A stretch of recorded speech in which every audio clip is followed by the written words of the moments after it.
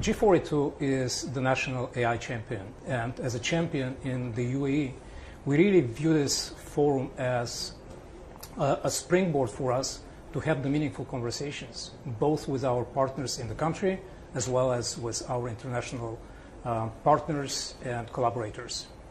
G42 has been in the headlines lately. We've just seen the business cutting ties with China, reportedly to appease the United States. What does that decision mean for the business? I'm not the best person to answer this question. Um, this question has been addressed by our group CEO on several occasions, and we have put a public message on our website addressing this topic. But um, here, uh, speaking as a technologist, the person who is overseeing our technology blueprint, what's important to mention is that this was a commercial and technology decision that was made back in 2022. Um, when I engaged with G42 in the last quarter of 2022, we started looking at what it would take us in order to accelerate the roadmap and the delivery capabilities of G42.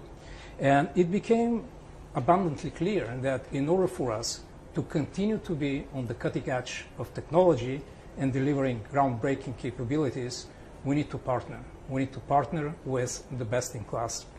And needless to say, um, the best in class in the area of artificial intelligence are the companies that we're very proud to be working with today. The companies like Microsoft, OpenAI, Cerebras.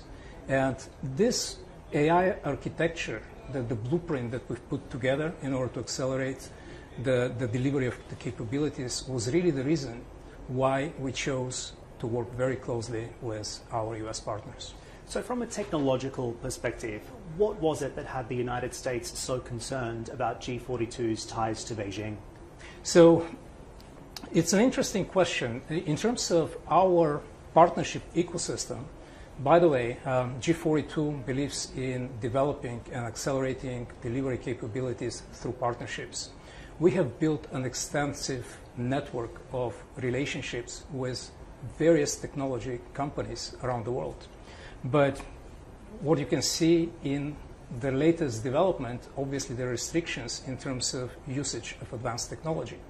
And my uh, read on the reason why it was so important for our U.S. partners to make sure that we um, sever the, the ties with our technology suppliers from um, China specifically is the limitations and the restrictions that are expected from us when working with advanced technologies.